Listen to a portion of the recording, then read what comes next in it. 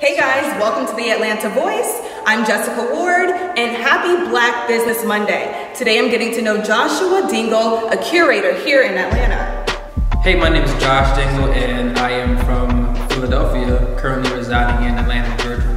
And I happen to be the founder, the vessel of a marvelous Black Boy Art Show and a spectacular Black Girl Art Show. A spectacular Black Girl Art Show.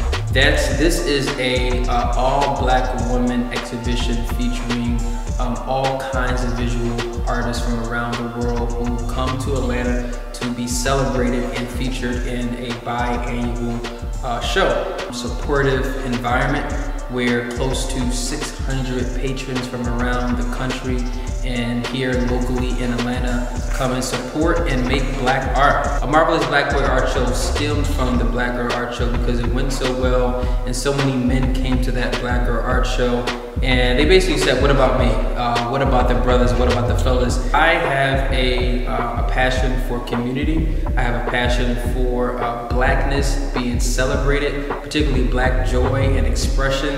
And um, the, one, one of the most powerful forms of expression is art. Mother's Day, May 8th through the 9th. This is our first time doing a two-day exhibition, uh, our biggest event to date. And uh, once again, it's going to feature 100 black women artists in Atlanta um, at the Culture West Midtown, Atlanta. Thanks for watching. Again, I'm Jessika Ward, and I'll see you here at the Atlanta Voice next week.